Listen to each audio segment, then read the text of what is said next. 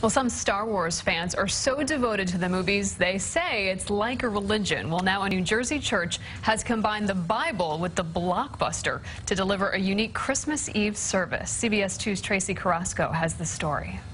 Christmas Eve in a galaxy far, far away, or Morristown, New Jersey, Liquid Church, a non-denominational contemporary Christian church, celebrated Christmas in an out-of-this-world way.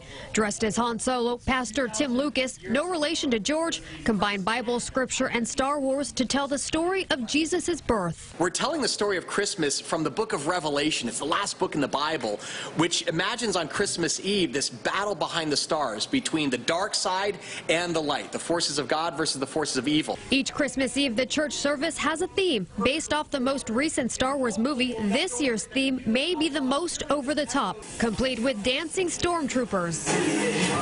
Clips from the movies, lightsabers, and a live nativity scene with Han Solo, Princess Leia, and Chewbacca. With a packed house, Pastor Lucas hopes this service appeals to everyone. I think it's a good way to get people to come out and come to church.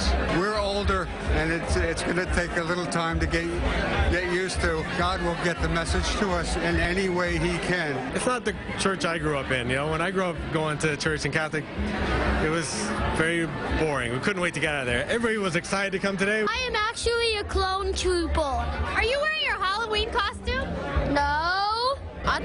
Pretty interesting. While some may prefer a more traditional Christmas Eve service, this church says their message is still the same this holiday season. We talk about actually every person needs to make that choice for themselves. Are they going to live a life of fear and hate or one of hope and faith? And we hope as Christians they choose the light over the dark side. I think it created like a really good analogy so that people could connect with the story they hear every year. A story Jedi Knights of all ages can understand. In Morristown, New Jersey, Tracee Carrasco, CBS 2 News.